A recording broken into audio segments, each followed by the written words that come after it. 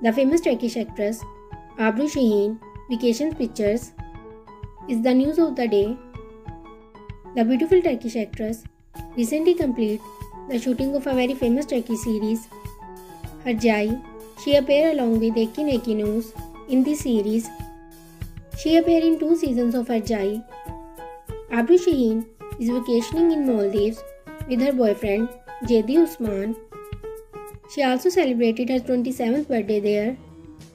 On her birthday, her boyfriend Usman also wrote a very beautiful message for her. He said, I can't have words to explain your beauty, but I still want to say you happy birthday, my beautiful. May you always smile. We also wish Ebru a very happy birthday. Comment in the comment section what do you think about this beautiful couple of Turkey. See you in the next video. Thanks for watching.